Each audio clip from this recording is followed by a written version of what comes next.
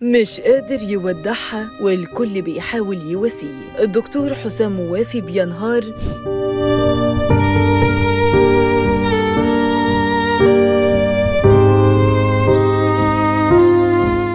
في جنازة زوجته ومش مصدق إنها مشيت وسابته.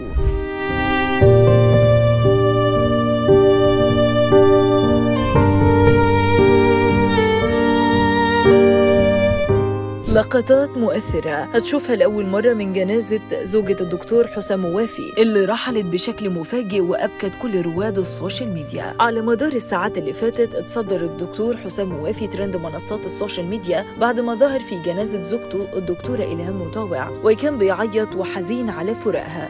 بشكل يوجع القلب. الدكتور حسام موافي دايما كان بيتكلم عن زوجته في أي لقاء ليه وهي نور عينيا دايما بتشجعني على الشغل ومساعدة الغلابة. ودايما تقولي إني ما غليش الكشف أبدا على حد تعبان وأنا كنت بسمع كلامها. حسام موافي في أي لقاء كان بيتكلم عن حبه الكبير ليها وإزاي رسخت حياتها لخدمته ولخدمة الأولاد وقدرت تطلع من تحت إيديها ثلاث أطباء كبار يرفعوا اسم والدهم في المجال الطبي. حسام موافي عاش مع زوجته إلهام سنين كتير. قدروا من خلالها إنشاء أسرة كبيرة علشان كده فضل طول الجنازة متأثر. ولو لاحظنا هنلاقي إن الدكتور حسام موافي ما كانش قادر يمشي ومسنود علشان كده كان في محاولات إن هو ما يحضرش الجنازة لكن هو أصر إن هو يودع رفيقة الدرب الوداع الأخير بعد ما عاشت معاه سنين وأسمته على الحلوة والمرة. الدكتورة إلهام هي الزوجة الأولى للدكتور حسام موافي اتخرجت من كلية الطب جامعة الأزهر بنات وبعدها اشتغلت دكتورة في مستشفى القصر العيني. أنجبت ثلاث أبناء من الدكتور حسام موافي وهم الدكتور أحمد موافي والدكتور علي موافي والدكتور حاتم موافي. الدكتورة إلهام عندها أخ بيشتغل في الخارج دكتور ويدعى عادل مطاوع